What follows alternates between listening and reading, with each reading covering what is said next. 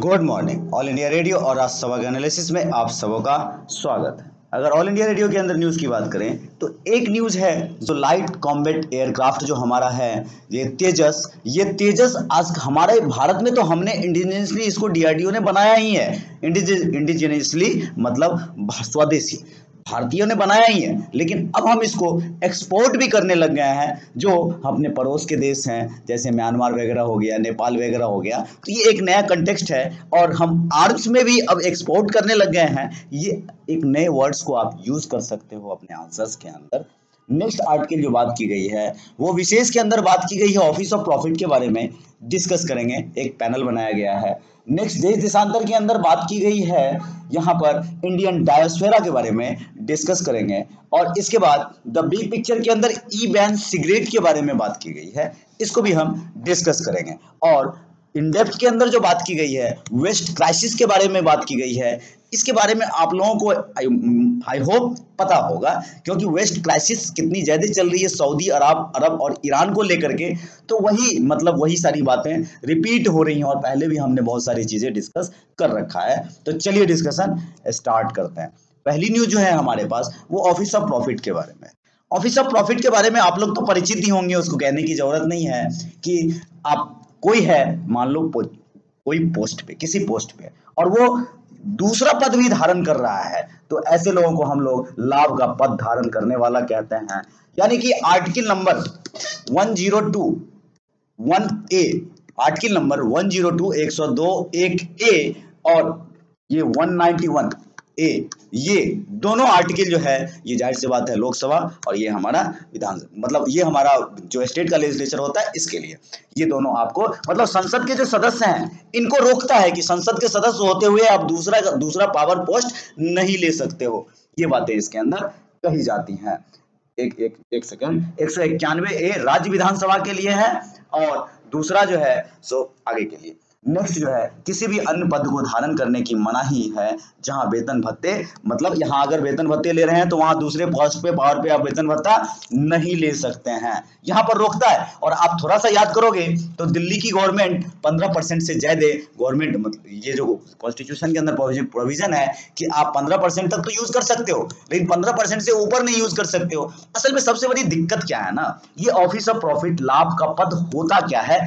इसको कॉन्स्टिट्यूशन ने डिफाइन नहीं किया है। कौन कौन इसके ऊपर आएगा? कौन कौन इसके अंदर आएगा? सबसे बड़ी प्रॉब्लम यहाँ पे दिक्कत ये होती है। रिप्रेजेंटेशन पीपुल ऑफ़ एक्ट जो हमारा 1951 का है। ये 1951 का सेक्शन 9 ए ये भी रोकता है ऑफ़िस ऑफ़ प्रॉफिट को। आपको ये ध्यान रखना है। 2002 में। 2002 में 91 अमेंडमेंट होता है और यहाँ पर 164 ए 164 1 ए जोड़ा जाता है और यहाँ पर इसको जो है थोड़ा और रेगुलेट किया जाता है। यहाँ पर कहना कहा कहा यही जा रहा है कि 15 परसेंट तक का जो है कैप होना चाहिए इसके ऊपर। नेक्स्ट बात करें तो 1958 में सबसे पहले ये केस आया और सुप्रीम कोर्ट ने फैसला दिया कि मंत्री पदों के विपरीत गैर लाभकारी और बिना किसी तय के वेतन के पद मतलब समझ गए हो गया नेक्स्ट बात करें, वैसे पद या नियुक्ति जिनके साथ कोई सुविधा न जुड़ी हो मतलब वैसा पद अच्छा जैसे कि अभी एक केस आएगा हमारे पास, थोड़ी देर बाद आएगा तो यहाँ पर हम बात करेंगे जया बच्चन के बारे में। अब जया बच्चन क्या थी? राज्यसभा की सांसद भी थी और यूपी की एक फ़िल्म फ़िल्म की जो है सो उसको वो बना दिया गया था मतलब और पोस्ट पे बात दे दिया गया था, और इनके, इनको सदस्यता, जानी इनकी सदस्यता चली भी गई थी। क्यों?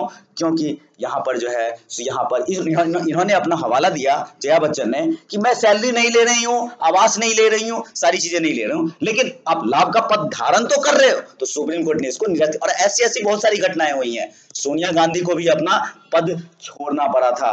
ये तो जया बच्चन का भी केस यहाँ पर हुआ। और आम आदमी पार्टी का बहुत सारा केस जो आम आदमी आम आदमी पार्टी के केस में कहा गया कि ये जो है सो मतलब राज्यपाल से बिना कंसल्ट किए हुए इस तरह का आपने नियुक्ति कर दिया। और सबसे बड़ा नाम तो आपको याद दिलाऊं तो अनिल अंबानी। ये अनिल अंबानी ने भी खुद से कहा, ये तो बहुत नैतिकता का स्वरूप दिखने को मिलता है, किसी आंसर्स के अंदर आप इसको यूज़ भी कर सकते हो, ये हालाँकि पुराना मामला है, लेकिन अनिल अंबानी ने कहा, मैं ऑलरेडी इतना बड़ा कंपनी रन कर रहा हूँ तो मैं कैसे यहाँ पर मुझे अपना कंपनी छोड़ना होगा। फिर मैं राज्यसभा का सदस्य बन सकता हूँ। इन्होंने नैतिकता का उदाहरण देते हुए खुद से यहाँ से इस्तीफा दे दिया था। तो एक अच्छा टर्म एथिक्स के हिसाब से आप यूज़ कर सकते हो इसको। चलते हैं नेक्स्ट आर्टिकल पे। नेक्स्ट आर्टिकल जो एक और है इंडियन डायस्पोरा के बारे में। ये इंडियन डायस्पोरा के बारे में असल में ज़्यादा पॉइंट्स निकलते नहीं है, क्योंकि आपको पता है कि ये हमारे ऐतिहासिक दौर में हमारे गांधी जी से शुरू होता है। हालाँकि गांधी जी से नहीं, बहुत पुराना दौर है ये इंडियन डायस्पोरा पूरे वर्ल्ड में बहुत सारे लोग हमारा, हमारे रहते हैं और एक अलग कम्युनिटी बनी हुई है। और यहाँ पर सबसे ज़्यादा रेमिटेंस ये सवाल बनता है, बहुत ही इंपॉर्टेंट सवाल बनता है कि पूरे वर्ल्ड का कौन सा ऐसा कंट्री है जो सबसे ज़्यादा रेमिटेंस आता है? रेमिटेंस मतलब बाहर के देशों से कमाई हमारे भारत में आता है मतलब या किसी कंट्री में आता है। आपको इंडिया नंबर वन पे है टॉप पे है, आपको ध्यान रखना है। सेकंड नंबर पे चाइना है, जिसको सबसे ज़्यादा रेमिटेंस मिलता है। नेक्स्ट तीन परिवर्तन की बात होते हैं, होती है भारतीयता की ओर आ रहे हैं लोग। नेक्स्ट 1947 में हम अस्तित्व में आए और फिर हमने अपने आप को एक भारत बनाया मतलब राष्ट्र बनाया।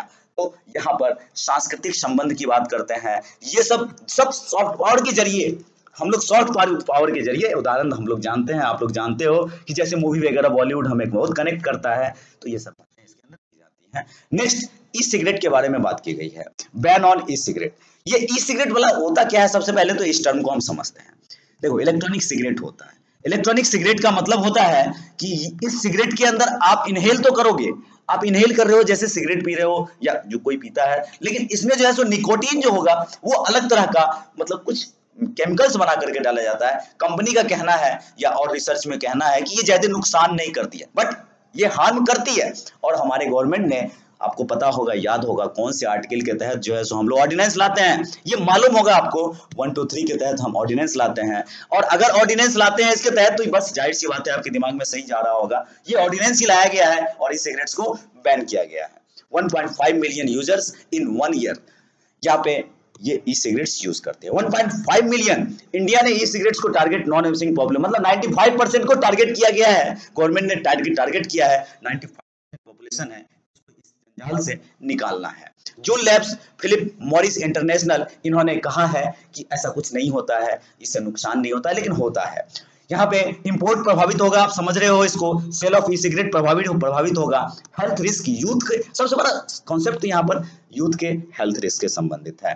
परसेप्शन जेल आपको जेल हो सकती है तीन साल की सजा हो सकती है। अगर कोई कंपनी इसको बेचता है तो first time violates with face jail term up up new year मतलब यहाँ पे वन लाख तक का फाइन भी हो सकता है और वन लाख से फाइव लाख तक जा सकता है और जेल भी दोनों दोनों की दोनों बातें हो सकती हैं। पचास हज़ार रुपये अभी आप यहाँ देख सकते हो, छह मंथ्स की बात। अब बैकग्राउंड की थोड़ी सी बात करते हैं। Not a seasonal seasonal tool ये सीजनल टूल नहीं है, ये हमेशा च्यूइंग है। जिस तरह से टोबैको वगैरह लोग यूज़ करते हैं, उसी तरह से है। तो जिसको एक बार आदत लग जाती है, वो तो नॉन स्टॉप चलते ही रहते हैं। यूएसए पल्मोनरी डिज़ीज़ यूएसए ने इस बात को डिक्लेयर किया है कि एक पल्मोनरी डिज़ीज़ होता है। पल्मोनरी डिज़ीज़ होता है, यहाँ पर आप देख सकते हो। ये इसके तहत डेथ हो जाती है इंसान की। 77 70 परसेंट यूजेज स्कूल गोइंग बच्चे यूज़ करते हैं। 77 परसेंट स्कूल गोइंग एक्चुअल में एक मतलब मतलब लाओ, मैं भी जरा ट्राई करता हूँ। लेकिन बहुत हानिकारक हो जाता है। कॉलेज के चिल्ड्रेंस वगैरह, इन लोगों को बहुत अब ई सिगरेट को थोड़ा और समझते हैं। ये वेपर की तरह, ये इनहेलिंग की होता, तरह होता है, जैसे हुक्का होता है, उसी तरह से ये पेंस की तरह marked as self alternative of मतलब ये सिगरेट की तरह का एक अल्टरनेटिव हो गया। Could be used everywhere everywhere cool design cigar ये सिगार भी एक टर्म ही है, ये फ्लैश लाइट एक लाइट जलती है इसके अंदर निकोटीन देखो निकोटीन के अंदर क्या है? लर्निंग मूड यहाँ पर poor impulse control depression and anxiety मतलब इस तरह की भावना पैदा होती है इंसान के अंदर जब ऐसा कुछ वो लेते हैं। Some e cigarettes claim to not contain nicotine कुछ कहते हैं कि निकोटिन नहीं होता है। But contain other harmful chemicals जैसे फॉर्मलडिहाइड ये फॉर्मलडिहाइड आप ध्यान में रखना, अभी तीन चार महीने पहले ये बहुत न्यूज़ में था, ये फॉर्मलडिहाइड का और यूज़ करते हैं हम। कहाँ यूज़ करते हैं आपको पता है। ये मछली को फ़िश को बचाने के लिए हम लोग यूज़ करते हैं और इसकी अधिकता पाई गई है कहीं ना कहीं। तो ये न्यूज़ में है। डाइसिटाइल और बेंजीन मेटल पार्टिकल्स ये सब चीज़ें इसके अंदर आती हैं।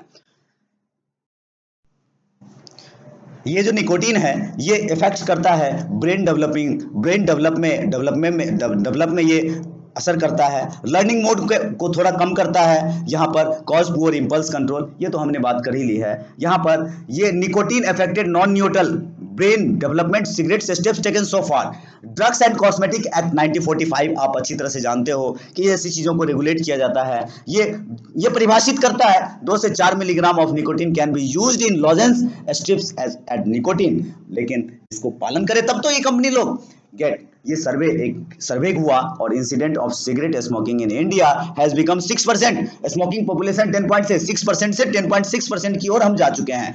Foreign companies not allowed in India to production youth below 25 year not allowed purchase cigarette मतलब 25 से, देखो 18 ईयर है अभी। कि 18 ईयर से कम के बच्चे खरीद नहीं सकते हैं। लेकिन ये 25 ईयर्स होना चाहिए।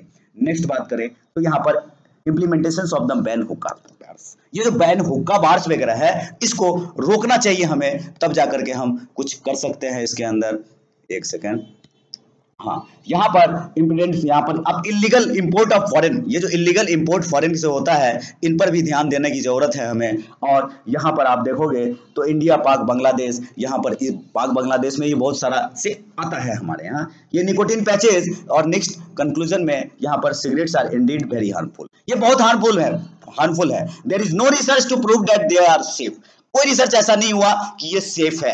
Then step of government has taken in most timely तो गवर्नमेंट को स्टेप तो लेना होगा इसके ऊपर. क्योंकि हेल्थ का इशू है. और हेल्थ का इशू बहुत बड़ा इशू होता है. With proper implementation it will go long way even in reduction of consumption and convention cigarettes by prospective smokers ये अवेयरनेस की ज़रूरत है. जो हमारा रिहेबिटेट सेंटर है, यहाँ पर आइए और नशा मुक्ति केंद्र जिसको बोलते हैं, इन सबको आपको और आगे लेकर के आना होगा। तो आज के न्यूज़ में इतना ही था। Thank you